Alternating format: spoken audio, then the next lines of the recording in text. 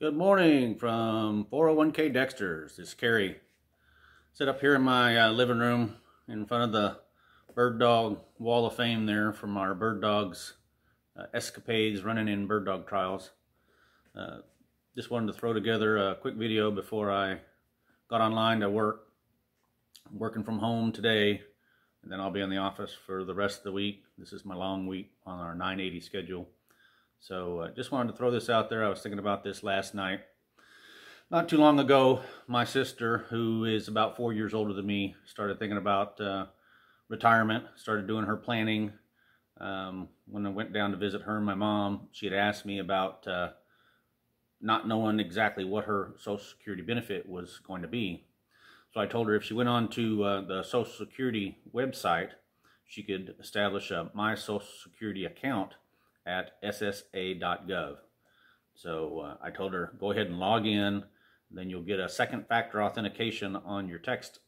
So they'll send you a code that you enter. And then uh, terms of uh, service, uh, agree to terms of service uh, message will pop up. And then you can close that.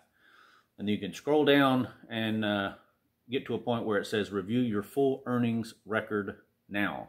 And you click that and then there's a privacy statement that pops up and you can close that. And then you see a tables of all your earnings history.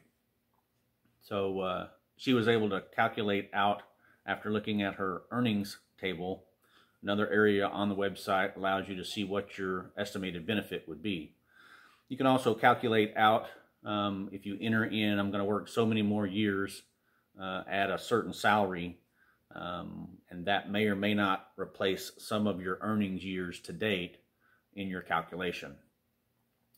So it helped her get an idea of what her uh, monthly benefit would be. So then she could look at her budget, uh, look at all her bills, see how that Social Security would enable her to uh, get by.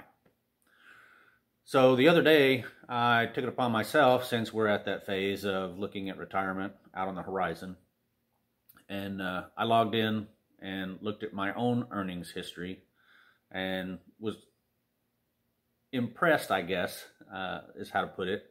I didn't remember specifically, but then after looking at my records, it showed that my first earnings year was 1978 and I made $67. Now in 78, I was 12 years old. The next summer in 79, I had the same job and made $742. So that job that I held um, during my sixth and seventh grade year uh, in junior high was at a local golf course down the street. Um, a few of the neighborhood kids uh, were members there, and they would invite us down to go swimming at the country club swimming pool or uh, they would invite us as a guest to uh, go play a round of golf. I was just getting into golf. Uh, my stepdad was real big into it, um, but we couldn't afford to be members at the club, so it was nice to get an invite to go down there. And I was down there one day, and uh, one of the guys that I was hanging around said, "Hey, let's go knock some balls off of the driving range." So we went in and got a bucket of balls and um, went out to the driving range and knocked them down range. And then when we went to put the basket up, I asked the guy, I said, um, hey, you know, do you have any part-time work here? You know, it's summertime and I'm looking to make a little bit of money. And he said, sure. He said, if you want to come down, he said, you can uh, get one of these plungers and go out on the driving range and pick up all the golf balls and bring them back, put them in the bin. So that way when members come in to get a bucket of balls, they've got plenty and I don't have to break away from the pro shop to uh, go pick up balls. So it was a, a convenient um, thing for me to do. But uh, I thought what was interesting about the job was I got perks or benefits for working at the golf course. And that was that I could go down and play twilight golf in the afternoon. So after a certain time, when it gets to the point where you can't fit 18 holes in by the time the sun goes down, you can go play as many holes as you can play before it's too dark to see the ball. So me and a few of the friends that were members there would meet in the afternoon after you know all the members had gotten off the course, and uh, we would play till dark. So that was to me uh, more of a benefit than you know getting pay at the golf course uh, because again we couldn't afford the membership dues at the country club. But it got me thinking that uh, when you're looking at your earnings history, um, kind of do a little bit of reflection on where you were and how far you've come. Um, going back through that list, again, I could see, you know, when I was working at 12 and 13 years old, um, then I think I took a year off, and then I had a job part time uh, during my ninth and 10th grade year working at a uh, RV camp um, at the lake resort. So I would go in and I would clean out the trash in the campsite.